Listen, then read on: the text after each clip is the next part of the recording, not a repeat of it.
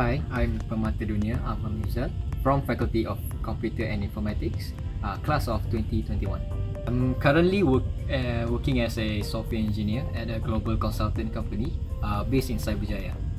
As a software engineer, uh, my day-to-day basic uh, job is more or less about uh, fixing and debugging, adding new codes and repairing the working system preparing software uh, and creating software, new software, new system for our clients uh, around the world. My advice to you guys is don't be afraid to ask if you're feeling lost uh, in your studies.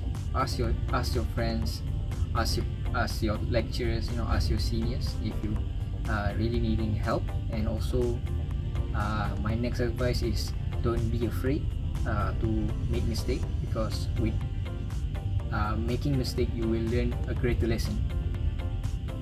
Hai Assalamualaikum. Saya Permata Dunia Nadim Isha Daripada Faculty of Cinematic Arts Class of 2018 2018 Dan saya bekerja sebagai um, Seorang penulis dan Penerbit persekutu Associate Producer di Astro Shaw Di mana kami I, I ni lah In a way saya telah tolong produce this show Or soft produce for the show.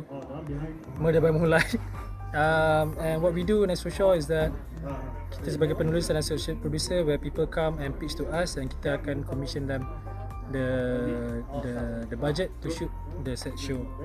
Like involving marketing and everything. Tapi saya akan in a way tapis the script for like censorship ataupun the content everything. And we are also uh, handling in the choices of uh, cast HODs everything from zero to a hundred of a production dari beginning sampai habis I will help between the in a way macam studio executive or representative of the studio.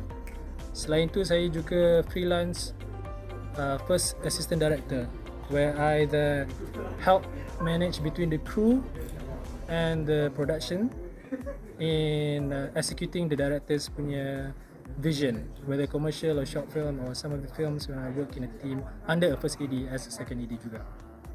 Dan sebagai pemata dunia dalam perjalanan saya untuk dalam bidang ni lah kan dalam bidang filem ni ada yang banyak yang naik dan turun dan banyak yang saya telah belajar. Some of the mistakes kita kena buat di tempat mana kita belajar ni so that we can better ourselves here. This is our safe space. Uh, but what I can leave to you future graduates of MMU try to keep a good name for yourself and also from where you coming from. Work with people. Sentiasa bertegur. Jangan malu. Kalau tak tahu tanya. Kalau tak tahu tanya whatever bidang FOM FCM or uh, apa FOE if you don't know something you ask. Because the person yang tanya the most orang usually the most yang berjaya nanti. And take initiative lah kot berdoa selalu tapi also kerja seperti saya selalu kata redah dan tawakal so whatever life gives you kau redah benda tu sesakit mana seteruk mana kau redah tawakal, do your best and insyaAllah serahlah lepas tu. Uh, yeah, whatever it is, is tenacity. Tenacity.